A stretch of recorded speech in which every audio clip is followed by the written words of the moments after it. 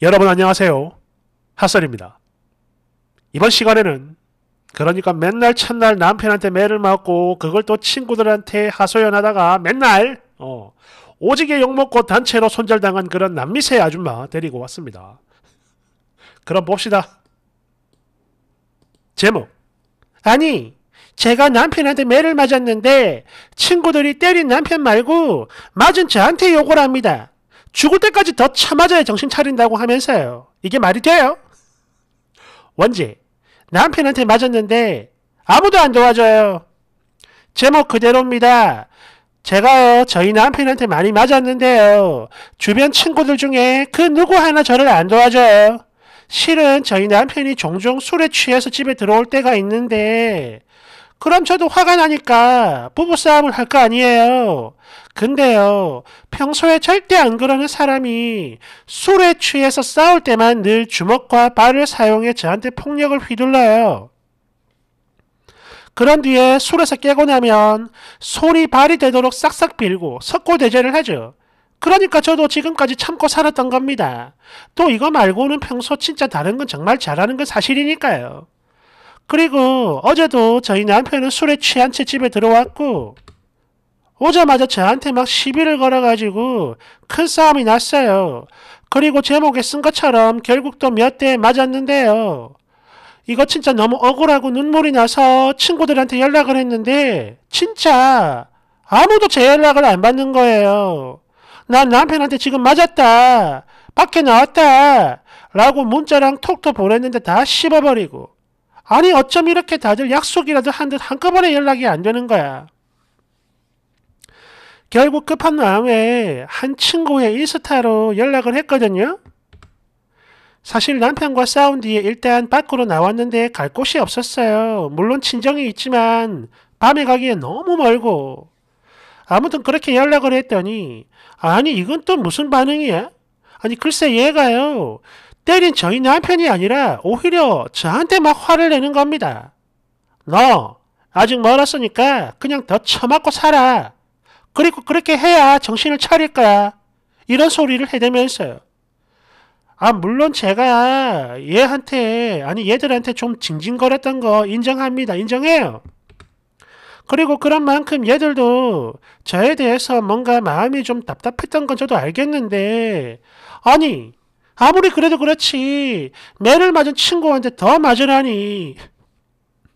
그, 그리고 더 맞아야 정신을 차린다니. 아니, 말을 꼭 이렇게 그지같이 해야 되는 겁니까? 누가 뭐라 해도 때리는 저희 남편이 잘못된 건데 도대체 왜 제가 이런 욕을 먹어야 하는지 모르겠어요. 차라리 야 그만 징징거려라 이랬으면 뭐 기분 나쁘지만 그래도 어떻게든 이해를 해보려 최소한의 노력은 해볼 텐데 더 맞으라니 그래야 정신을 차린다니 지금 이게 말이 되는 거예요? 다시 한 번 더 말씀드리지만 저도 무조건 다 잘했다는 건 아니에요. 하지만 친구들이 돼가지고 이런 식으로 막말하는 거 진짜 아니지 않습니까? 세상에 이런 게 내 친구라니 정말 믿을 사람이 하나도 없어요. 사진 첨부합니다. 아니 그래서 오늘 너 재워주면 네 남편이랑 이혼할 거냐? 아니 그렇게 처맞고도 맨날 꾸역꾸역 같이 살 거잖아. 야 애들이 지금까지 너 재워준 게 몇 번이냐? 그 거지 같은 걸 보고도 계속 사는 거 보니까 니는 아무래도 그냥 더 쳐맞아도 되겠다. 그래야 정신을 차리지. 됐고 앞으로 연락하지 마. 아 분노가 아주 그냥 찐텐이네요. 댓글 1번 뭐라고? 때리는 남편이 잘못한 건데 왜 너를 욕하냐고? 아니 너부터가 이미 때리는 이 남편보다는 잠 안 재워준 친구 욕하려고 글 썼잖아. 안 그래? 대댓글 팩폭 지리는구만 깔깔깔 아니 때리고 잘못한 건 네 남편인데 그런 지를 안 받아준다고 믿을 사람이 없다는 둥 그지 같다는 둥 아니 왜 죄도 없고 상관도 없는 친구들한테 날지요 그러니까 이러는 거지 깔깔깔깔 2번 내 친구 하나가 딱 저랬었죠 제가 혼자 산다는 이유 하나만으로 연락도 없이 남편한테 맞을 때마다 애까지 안고 와가지고 무작정 벨부터 눌러댔어 그리고 밤새도록 울면서 지 남편 욕에 신세 타령 오지게 하는 거 다 들어주고 그런데 그러면 뭐해? 다음날 집에 가가지고 지 남편 밥 차려주고 있어요.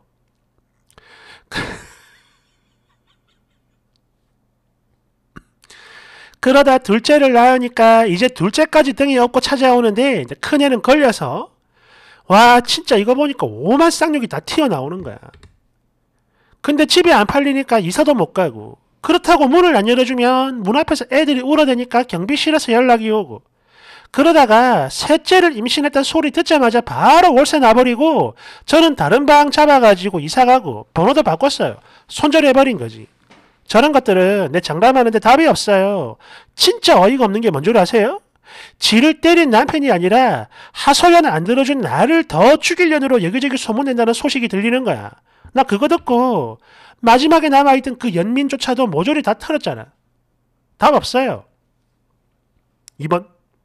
아니, 혼자면 모텔 가가지고 자면 되는 건데 왜 친구 집을 찾아가? 아니 도대체 이게 무슨 그지 같은 민폐요? 왜 돈이 없어요? 그래서 못 가는 건가? 그럼 경찰에 신고를 하든가 쉼터를 가요 아줌마.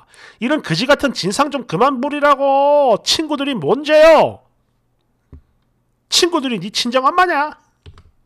3번. 딱 보이네요. 네 친구들도 그동안 엄청나게 지친 겁니다. 처맞고 왔을 때는 이혼할 거라면 큰소리 뻥뻥 치길래 들어주고 도와주고 했더니 다음날 되면 또 언제 그랬냐는 듯 남편이랑 하하호호 밥 먹고 잘 지내고 그리고 시간 지나면 이게 또 반복되고 당연히 짜증이 나죠. 솔직히 친구들 눈에 쓰니는 이혼도 못하는 주제에 맨날 처맞고 큰 소리만 뻥뻥 치는 찌질이로 보일 겁니다. 징징대지 말고 남편 버릇을 제대로 고치든가 그게 아니면 그냥 이혼을 하든가 알겠나요? 이 찌질이 아줌마야. 4번? 뻔하구만. 맨날 친구들 붙들고 울고 불고 하면서 사내 못 사내 이혼을 하니 어쩌니? 어? 얼마나 민폐를 끼쳤으면 더 처맞으라는 소리가 나올까? 5번.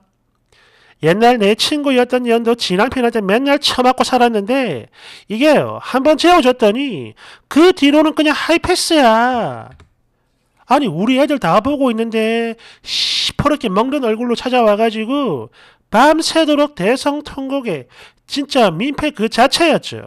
저기요 쓰니 네 주변에 민폐 끼치지 말고 경찰을 찾아가든지 이혼을 하든지 선택을 하세요. 근데 너 절대 안 할 거죠? 그러면 그냥 계속 쳐 맞으세요. 내 친구였던 그년처럼 오지게 6번 아니 때린 건 바로 네 남편인데 도대체 왜 친구들이 그 거지 같은 똥을 치워야 되는 거요? 뭐 다음부턴 안 맞게 조심해라. 7번 님 같은 사람들 절대 이혼 안 하잖아요. 뻔해요. 그냥 그때그때 필요한 감정 쓰레기통이 어? 필요한 거잖아. 아니 네가 매를 참았는 걸 왜 매번 친구들이 들어줘야 되는 겁니까? 그럴 거면 돈이라도 좀 지불하고 얘기를 하든가 해요. 한 5만원씩. 툭 하면 울면서 징징거리는 거. 어우, 생각만 해도 거지 같아. 아무리 달래주고 재워주고 얘기 들어주면 뭐하나. 결국 또 처맞고 전화할 건데. 그냥 칼을 맞아. 깔끔하게. 8번. 야, 저 친구 누군지는 모르지만 딜 진짜 잘하네. 오지게 빡친 것 같아요. 분노가 그냥 어? 한 줄 한 줄 버릴 멘트가 단 하나도 없어. 그래, 쓰니야. 나도 뭐 하나 물어보자. 여기서 우리가 전부 다 네 남편 그리고 친구 욕해주면 너 이혼할 건가? 어? 절대 죽어도 안 할 거잖아. 그렇지? 그러니까 그냥 들어가서 더 맞고 살아. 쓸데없이 여기 들어와가지고 글 같은 거 쓰지 말고 시간 낭비니까. 9번. 알았으니까 얼른 집구석으로 들어가가지고 더 많이 맞으세요. 이러니까 남자가 없으면 하루도 못 사는 남미 새들은 절대도 없는 거 아니야. 소용이 없어. 차라리 똥을 치우지. 됐을까요? 맞아요. 남미 새는 죽어야 고쳐지는 아주 지독한 병입니다. 나 같아도 안 도와줄 거야. 아니 욕해주면 뭐해. 나중에 지 남편이랑 화해하고 둘이서 어? 그렇게 지를 도와준 그 친구를 오히려 더 욕하고 씹어댈게 불보듯 뻔한데 내가 이런 거지 같은 걸 한두 번 본 게 아니야. 10번 야 그 친구 말에서 틀린 게 단 하나도 없네. 맨날 처맞고도 또 살 거면서 왜 이렇게 징징거리는 거요? 어? 그러니까 네가 그렇게 만만하니까 또 때리고 또 때리고 또 때리고 하는 거지. 맞으면서도 같이 산다는 건 맞아도 좋다 이런 소리잖아. 특히 한 번 때린 놈은 계속 때리는 법인데 그런 놈과 살보며 계속 사는 거는 뭐 맞다가 죽겠다 뭐 그런 각오를 했다 이거지 뭐. 갈라설 배짱도 없으면 징징거리지 말고 그냥 그러고 살아요. 11번. 야, 아니 친구가 뭐냐? 내 친동생이라 해도 안 재워줄 거야. 정말 그동안 오죽했으면 저렇게까지 독한 말을 할까 싶다. 아유, 뻔하다 뻔해.